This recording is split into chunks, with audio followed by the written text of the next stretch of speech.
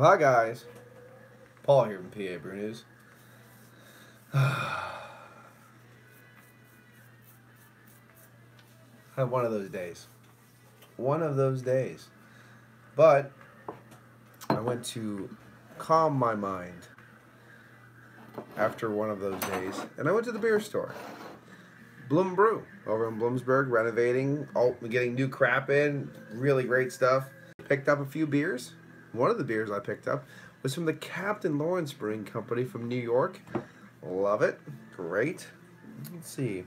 I haven't had a Captain Lawrence brew in absolutely forever. They're from Elmsford, New York. The last Captain Lawrence beer that I had, as far as I know, was the uh, Captain's Reserve IPA, which uh, that was a long time ago, but I loved that beer. Absolutely loved that beer. So here we got the can, can goodness. Aluminum, everyone loves that. 7.5 alcohol by volume, India Pale Ale. This is a North uh, New England IPA, dry hop with secret, uh, Vic Secret and Citra hops. It says. So I'm gonna get into it. I'm gonna crack this thing open. Here's the label, the Captain Lawrence. There we go. And they also had another one. I didn't pick it up, but they also had another one. The uh, oh, some slushy beer or something.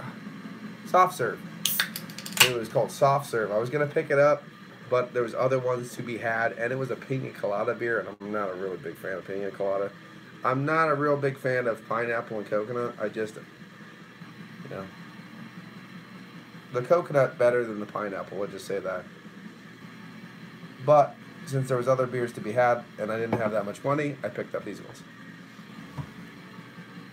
What be going down? Whoa. Okay. Here it is. I don't have the big light on, but I have a light on. And it is just fresh squeezed orange juice, kind of just nice, hazy, haze for days, unclear for years, up to up to even up to the candle. Can't really see through it, but illum- it makes it crazy illuminated. Shines up the whole place. Wow, pretty. All right, let's get some aroma on this one. The Captain Lawrence Tears. What is it? Tears of Green. Okay. I'm excited to actually have a Captain Lawrence beer after so long.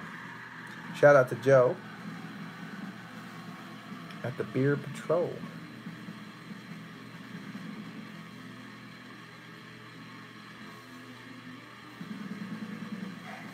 Hmm.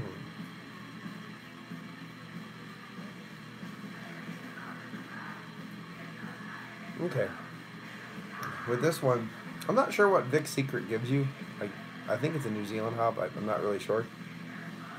Because I am getting white grape. Kind of a slight white grape.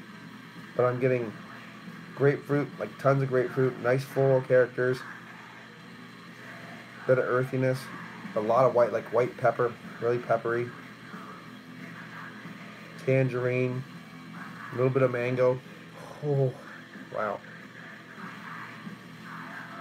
You're getting a nice vanilla character coming up through here too. Hey, what's up? It's a nice uh, little vanilla character. Little lactose sweetness coming through here now. Tangerine dream all day, man.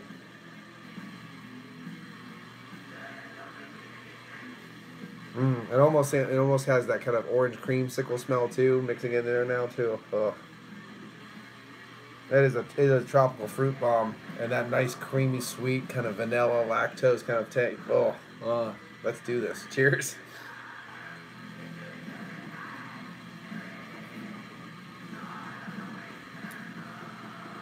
Mmm. Oh. Ah. Mmm. Wow. It's not as um, sweet and creamy as I thought it would be, but it's really, really bold with these like twisting, turning, really oily, piffy kind of um, juice vibes. Again, there's that white grape kind of in there too, mixing around with all that grapefruit, tangerine, a little bit of mango. Wow, orange, a little hit of orange rind.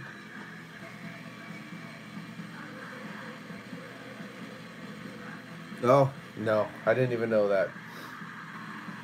I don't know all those Captain Marvel things and stuff. but there's actually a little bit of an assertive bitterness in the back end, kind of balancing everything else out. I.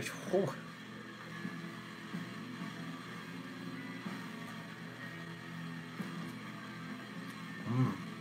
Yeah, nice, nice peppery, spicy bitterness, earthy bitterness in the back. It doesn't go pine, just a nice little, really mm, earthy, spicy bitterness in the background. Tons of those, like really, wow, lots of these really piffy, oily hops working away. It's really, really nice. It's got a nice little tannic tone. It's like drying out the palate with those oils. Like I said, it's got the, all that tangerine, grapefruit, little white grape, little even like fleshy mango, maybe even a little peach in there too, kind of wafting around, little little stone fruit action going on. Not, I don't really get the passion fruit, anything like that, but a little bit of mango for sure, and papaya maybe. Oh, just going around. The body is a medium body. Could be a little bit thicker for a New, a New, New England IPA though, but and it could be sweeter too for a New England IPA. That being said, that has to be said. Um, but I really love these bright, uh, assertive, oily hop characters. I like that nice little bitterness in the back. I like the fact that it's creamy. It has a little bit of that kind of oat sweetness, a little bit of a lactose sweetness, but not too much. I think everything's balanced really well with this one. 7.5% alcohol by volume. Drinks like a champ. Absolute champ. Really enjoying this. Mm-hmm.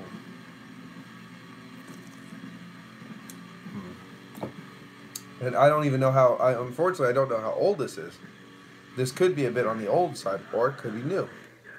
I don't see a canning date on anything, unfortunately. But some bitch. I don't know. I don't know if I've seen Joe review this one yet um, on the Beer Patrol. I know he does Western New York Wednesday, Wednesdays. I don't think I've seen this one on there. Um, maybe he would know exactly when this was canned. I mean, if it's just a one-off release, that kind of thing. But this is an absolutely stonker of a beer. Really, really good. Mm.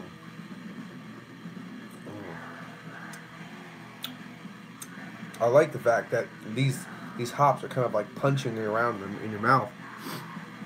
Oh, it's uh, uh, the Full Moon Diabolical Mysticism by Immortal. Oh. 1992, I think. Can't remember. Yeah, this is Unholy Forces of Evil.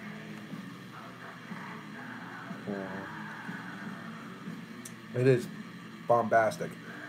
This one has a lot of bright, bright characters. There's tropical fruit notes. Again, the oils they're they're they're bashing around in your palate. They're really bright. They're really oily. They're like just just drawing your palate out even more with that, especially with that spicy, earthy bitterness in the back. But you still have this nice, delectable, enjoyable malt base too, giving you those kind of oats, giving you a little bit of that lactose. It kind of it just kind of offsets everything in the perfect way. It's so it doesn't get too dry, too clawing, too bitey. But it's not too sweet. You know what I mean? It's really balanced really well. I know a lot of people would be like, well, New England IPA shouldn't really have any bitterness at all to speak of, you know what I mean? But this thing is just uh, what I like. This is what I like. I'm going to give this one a solid 9 out of 10 all day long. I understand it might not be for everybody in the New England IPA category because I know I've had some that are like completely just sweet as hell. There's nothing, nothing in the background but just sweetness. This has a lot going on. This has a really firm, spicy bitterness, and those hop oils are just drying your palate out and bump, just smacking your tongue around. So you have to be ready for that. This is a delicious beer. Mm. I'm really glad that Captain Lawrence didn't let me down again. This is the second IPA I've had from them. That is just beautiful. So excellent, excellent stuff. Actually, I was gonna say if it wasn't a New England, if it didn't say New England IPA, I would give this a 9.5. You know what I mean? Because it's that damn good. So anyway, this has been Paul from PA Brew News. Thanks, uh, thanks for joining me with this one for the Captain Lawrence uh, Tears of Green.